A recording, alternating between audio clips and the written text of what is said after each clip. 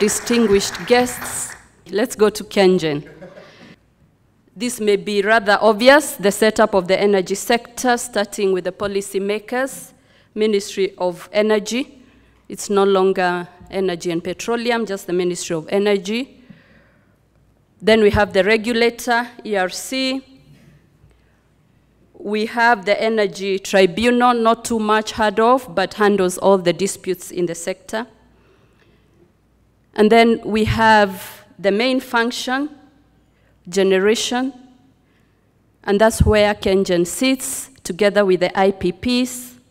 We have the transmission function undertaken by KETRACO, Kenya Transmission Company, the distribution, largely most of it by Kenya Power, and also rural electrification, especially off-grid distribution, and then we have the customers.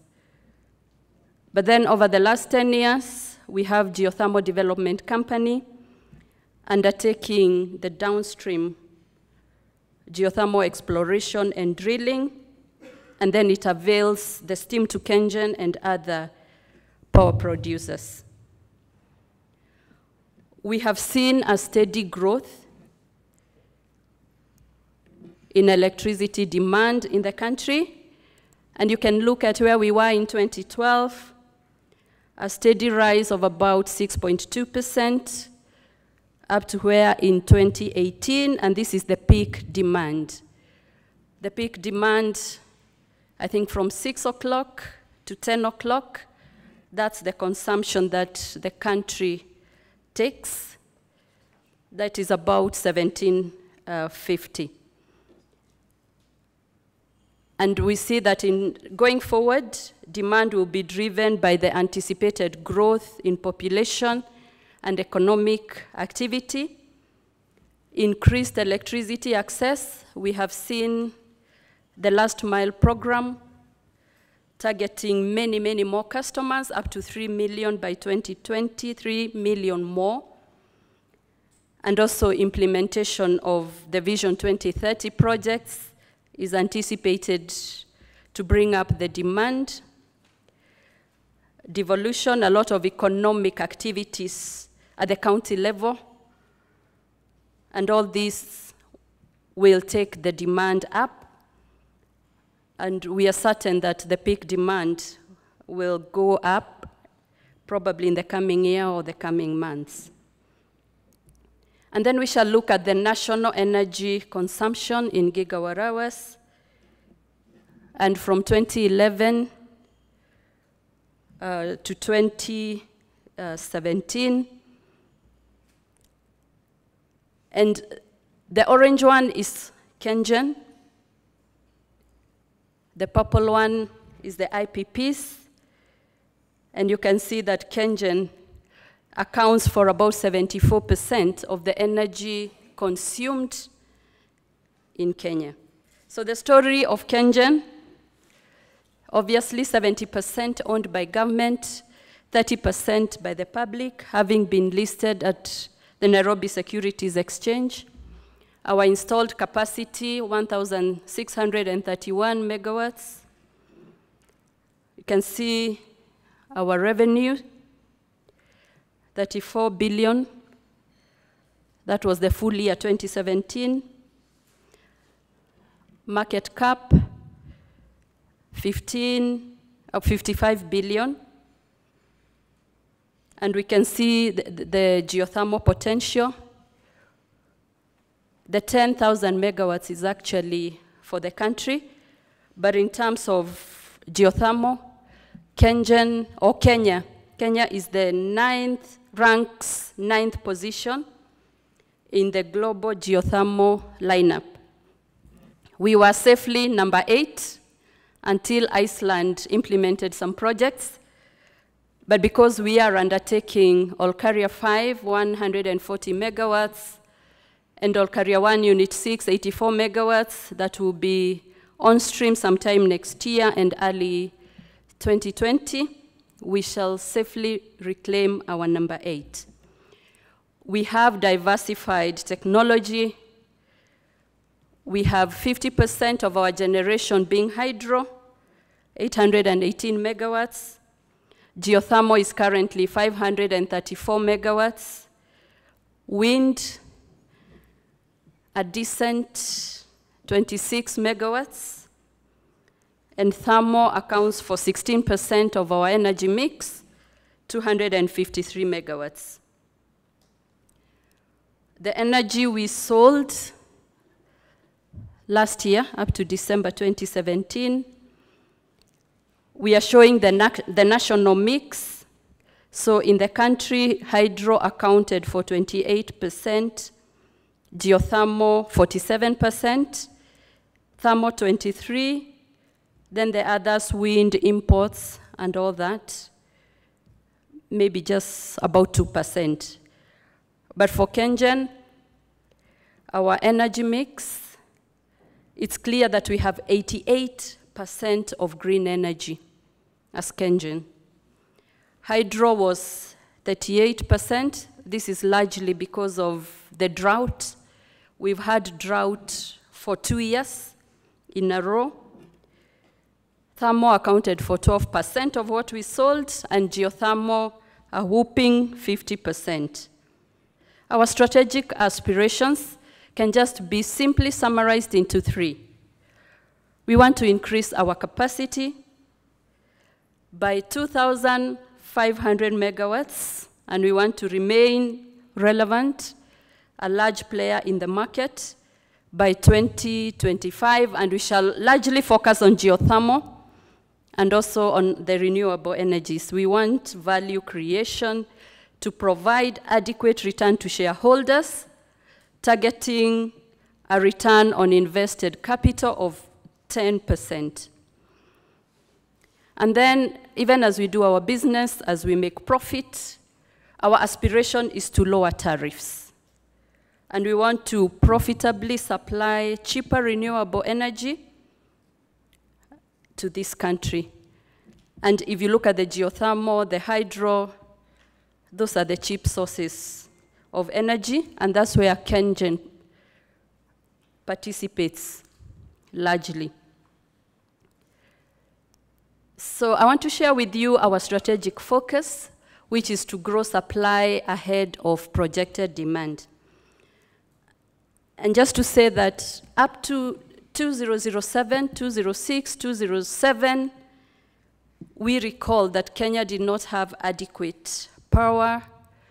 The demand was higher than the supply. We had a very major drought in 2009. I vividly recall we used, customers used to get power three times in a week. We used to have emergency power generators, 290 megawatts, and life was just miserable. In, in 2017, we had even a worse drought than 2007. Customers got power throughout.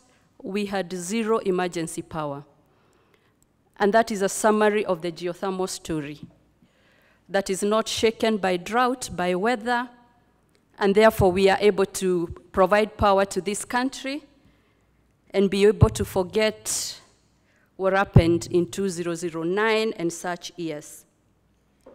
And so we have a strategy that we summarize as good to great. We know KenGen is a good company. We are on a journey to make it great. We also want to make it sustainable and so that it will be sustainable from one generation to the other. And that's where we have uh, our strategy summarized as G2G, meaning good to great, and generation to generation. Our strategy had three horizons by the time we crafted it in 2008. The first horizon, 2008 to 2012, was to stabilize the power situation in Kenya. Like I have told you, how it used to be very little power, inadequate. I'm glad to report that that was achieved and that was largely stabilized in terms of availability of power. And then we went into Horizon 2. We delivered 375 megawatts in renewable. And in 2016, we revamped our strategy, which we are now implementing. And that's how we arrived at what we aspire to deliver 2,500 megawatts. And then beyond that, we want to explore expansion opportunities beyond Kenya and have an African footprint. So that's the summary of our strategic focus. But then as we move on, we also have a three-tier business model for strategy execution. To simplify it and to understand it, we have KenGen A, KenGen B, and KenGen C. KenGen A is what you see today, power generation using conventional sources of financing, DFIs, and all that. But we want to implement KenGen C, where we want to have partnerships, special purpose vehicles, and we want to attract many more partners to be able to expand our business. And then KenGen C is to diversify our business portfolio. We also want to undertake other things that are not uh, power generation related. We want to do consultancy. We want to do some water, some industrial parks, and all those things that we can do that are not related to power generation. And at the crossover of 2017 to 2018, we have come up with a theme in KenGen. We are all rowing the boat together. We are all pulling the next, the direction towards the same direction. All our staff, we are rallied together and we have declared 2017 to be a build year. We will build our company, we will build our resources, our capabilities, our leadership. We are, everything we touch, we want to build it. We want to do that by bringing the best of ourselves. We hope our brand will continue being better, a good reputation and identity. And we want to serve you we want to serve everybody and interact with Kenyans by being present when it's your time. We want to give that opportunity to you, doing business by not being distracted. So that's our theme for the year. And then just a quick highlight of our financial performance. And we have a summary of our income statements good, steady growth. Though last year we were affected by the drought I talked about, we were also affected by depreciation, but quite a good, good performance. Operating income attributes, we can see a 15% increase in depreciation, and that impacted on our lower operating profit. I've already said that. We have seen the uh, electricity revenues grew, also the steam revenue, but the other income declined. Employee expenses also declined. But we can see also what hit us most was the depreciation. But we still had very modest and good results. Our balance sheet, a decent balance sheet in this country. And we have a very strong balance sheet right now at 363, 477 billion. Our debt profile, most of our loans are on lent by the government from the DFIs. We have a few direct loans uh, with the DFIs, commercial loans of about 13 percent, and then we have the infrastructure bond. So that is our debt profile. The next slide, shareholder value creation. And this is a very exciting slide, how our share has performed. And I think between our shareholders, they have shared a cool 11 billion. In the last one year. Then, as I finish, I want to share with you our value based approach to community engagement. Because, as you're aware, our installations are not in the city, they are where many communities live. And we would like to create value. We have recently, with the support of Power Africa, come up with a strategy of how to handle uh, the communities for sustainable value creation. And we want to have a social license to operate. And so we are working on things like unity, capacity building, collaboration. And we want communities to be impacted positively by everything we do, as, even as we implement our projects. KenGen has a corporate social investment. Largely, we support education. We are sensitive to the environment and the conservation and sustainability, and also water and sanitation. So those are some of the things we concentrate on, and we have a foundation that is now concentrating on our corporate social investment. It's just our capacity growth, which is largely on renewables. And out of the 2,500 that we intend to implement by 2025, most of it is uh, renewable. Actually, all of it. And then the way we do our projects funnel, we have the concept, feasibility study, we do the appraisal, and then we go on to development. The last slide is on the ongoing projects. We are undertaking Olkaria 5, and that will be commissioned next year, July. That is about 160 megawatts. Olkaria 1, Unit 6. That will be online January 2020. We are rehabilitating our oldest geothermal plant that is seven, 37 years old.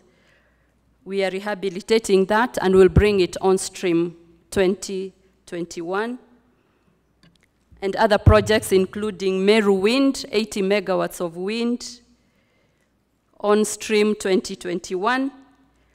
We also have some other wind in Ngong that will be phase three, anticipated to be online by July 2020. And so that, in summary, is the next story, the story of KenGen. Thank you very much.